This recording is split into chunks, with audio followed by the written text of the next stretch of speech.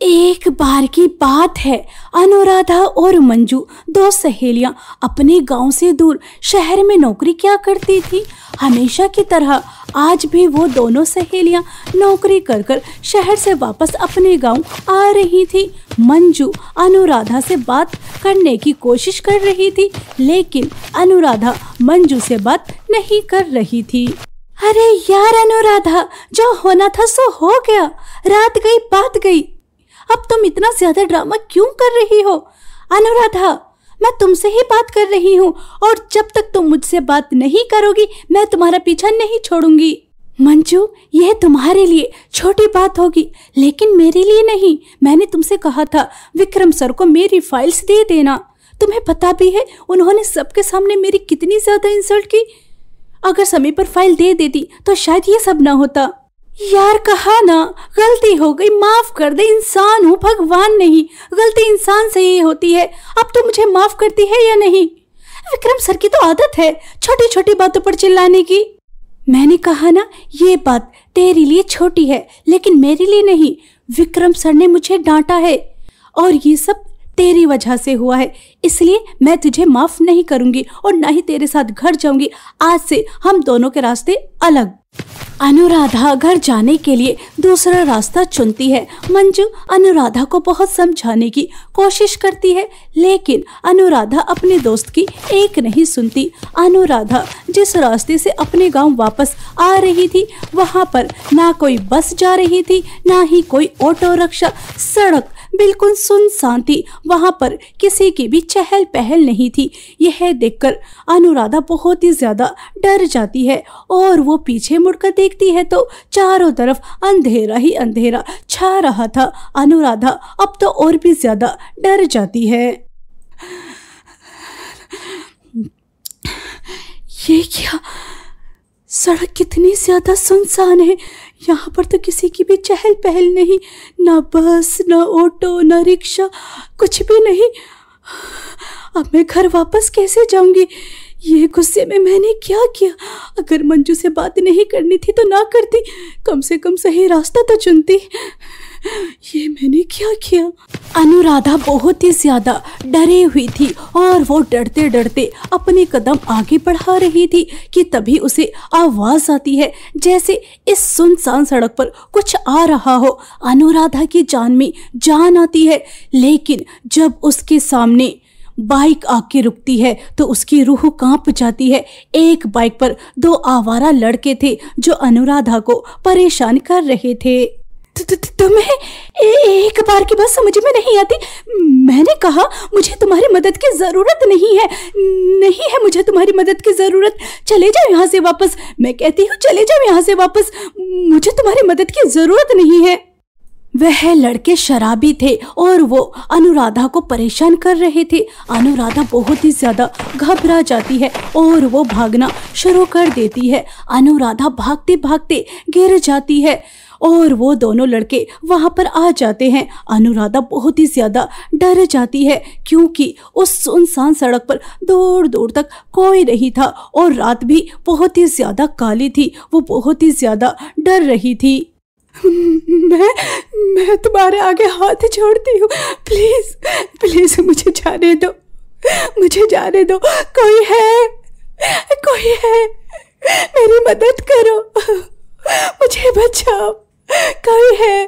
कोई है मेरी मदद करो।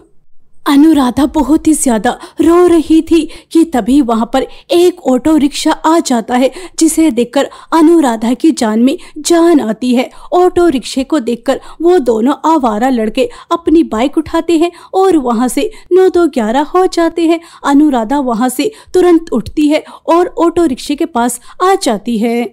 आपका बहुत बहुत धन्यवाद। आपने मेरी जान बचाई।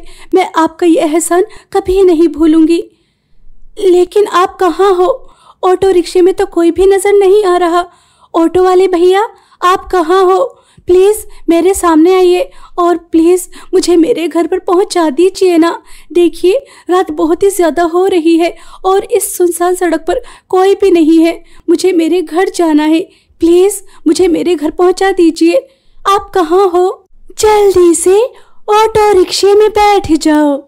यह आवाज़ सुनकर अनुराधा और भी ज़्यादा डर जाती है, क्योंकि आवाज़ ऑटो रिक्शे से आ रही थी और उसके अंदर कोई भी नज़र नहीं आ रहा था। यह आवाज़ किसी भैया की नहीं, बल्कि औरत की थी। यह सुनकर अनुराधा बहुत ही ज़्यादा डर जाती है और वो दोबारा से भागना शुरू कर देती है। वो दाएँ बाएँ कुछ नहीं देखती, वो भागती रहती है और कुछ समय बाद वो ऑटो रिक्शा दोबारा से उसके सामने खड़ा हो जाता है।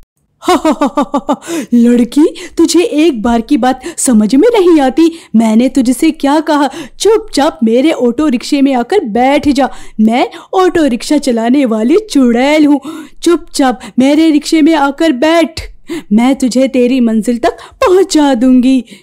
जब अनुराधा को ये पता चलता है, ऑटो रिक्शे में कोई और नहीं, बल्कि एक चुड़ैल है। ऑटो रिक्शे को एक चुड़ैल चला रही है तो वो बहुत ही ज़्यादा डर जाती है और वो दोबारा से भागना शुरू कर देती है।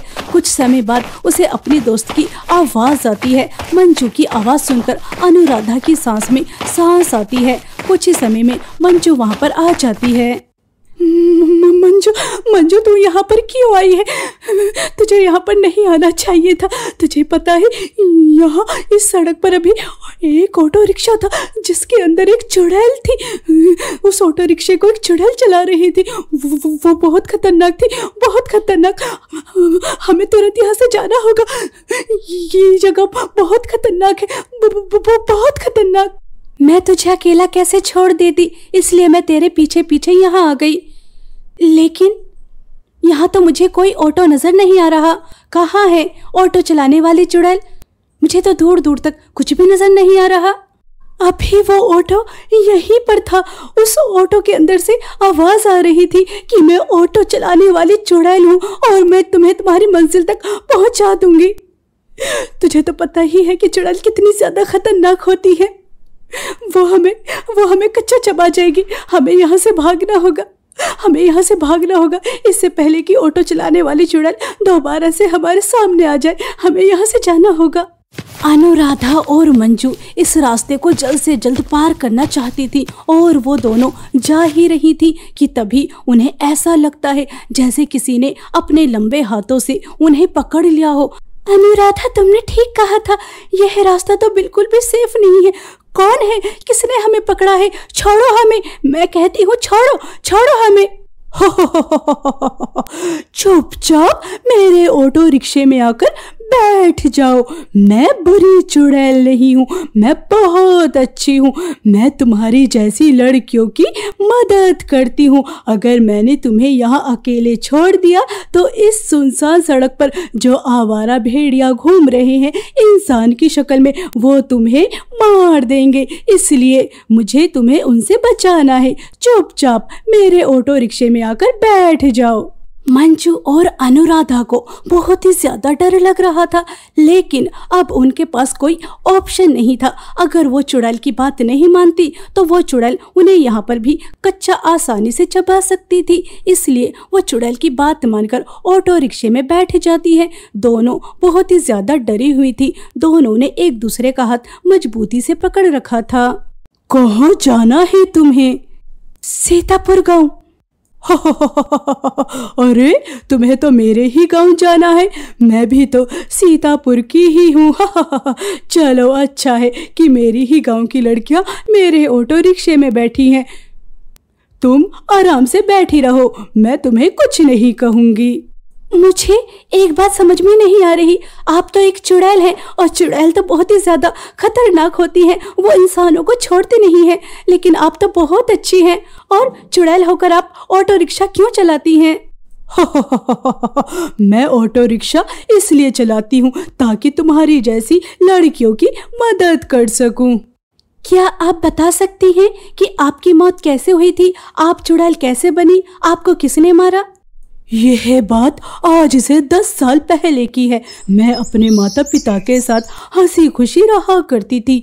मेरे पिताजी एक ऑटो ड्राइवर थे। जब मैं पाँच साल की थी, तब से ही अपने पिताजी से कहती थी, पिताजी पिताजी, मुझे बड़े होकर ऑटो चलाना है। पिताजी भी हंसकर कह दिया करते थे हाँ हाँ क्यों नहीं? मेरी जगह तुम ही ऑटो चलाना। जब तक तुम बड़ी होगी, मैं तो बूढ़ा हो चुका हूँ अच्छा फिर क्या हुआ? बड़े होकर आपने ऑटो रिक्शा चलाया?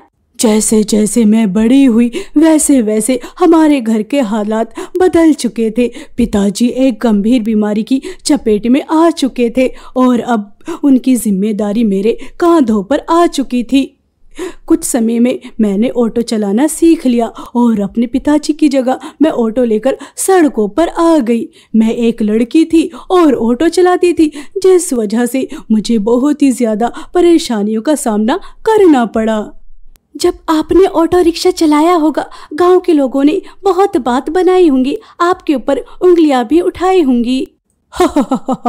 मुझे लोगों की बातों का बुरा नहीं लगता था। एक कान से सुनती थी और दूसरे कान से निकाल देती थी, क्योंकि मुझे अपना घर देखना था। हमेशा की तरह ऑटो रिक्शा चला रही थी। रात के बारह बज रहे थे। दो शराबी लड़के मेरे ऑटो रिक्शे में आकर बैठ गए। उन्होंने बदतमीजी की। मैं किसी से डरने वालों में से नहीं थी। मैंने भी डटकर उनका सामना किया। लेकिन वो दो थे। मैं अकेली थी। मैं मुकाबला नहीं कर सकी और उन्होंने इस ऑटो के साथ मुझे जलाकर मार दिया। अच्छा इसलिए तुम ऑटो चलाने वाली चुड़ैल बन गई। हाँ उन्होंने मुझे जलाकर मार दिया और उसके बाद मैं एक चुड़ैल बन गई। चुड़ैल बनकर मैंने उन दोनों को बहुत अच्छी तरह सबक सिखाया और बस उसी समय सोच लिया कि किसी भी लड़की को सुनसान सड़क पर अकेले नहीं रहने दूँगी। उनकी मदद के लिए ऑटो रिक्शा चलाऊँगी। बस उसी समय से चुड़ैल ऑटो रिक्शा चलाने वाली बन गई। आप बहुत अच्छी हैं और आप बहुत अच्छा काम कर रही हैं। चुड़ैल की आप बीती सुनकर मंजू और अनुराधा को बहुत ही ज़्यादा दुख होता है और ऑटो चलाने वाली चुड़ैल उन दोनों को उनके घर पर लेकर जा रही थी कि तभी रास्ते में एक लड़की और नज़र आती है जो बिल्कुल अकेली थी और उसे भी कुछ लड़के परेशान कर रहे थे। तभी चुड़ैल अपनी ऑटो से बाहर निकल कर आती है और उन दोनों लड़कों के सामने जाकर खड़ी हो जाती है। चुड़ैल को अपने सामने देखकर वो दोनों लड़के थर थर कांपने लगते हैं। तुम्हारी मौत तुम्हारे सामने खड़ी है। मौत को देखकर डर लग रहा है। थर थर काँप रहे हो। अभी तो बहुत महान बन रहे थे। तुम ऑटो चलाने वाली चुड़ैल से नहीं बच सकते। वो दोनों लड़के बहुत ही ज़्यादा डरे हुए थे और वो भागने की भी कोशिश करते हैं, लेकिन वो चुड़ैल से कैसे बच सकते थे? चुड़ैल उन दोनों को पकड़ लेती है और उन्हें बहुत अच्छी तरह से सबक भी सिखाती है। दोनों लड़के कान पकड़कर उस लड़की से माफ़ी मांगते हैं और वादा करते हैं कि दोबारा से कभी वो किसी लड़की को परेशान नहीं करेंगे। चुड़ैल उन दोनों लड़कों को छोड़ देती है और उस लड़की को भी अपने ऑटो रिक्शे में बिठाती है और उसे भी उसके घर पर छोड़कर आ जाती है। वो तीनों लड़कियाँ ऑटो चलाने वाली चुड़ैल को धन्यवाद कहती हैं।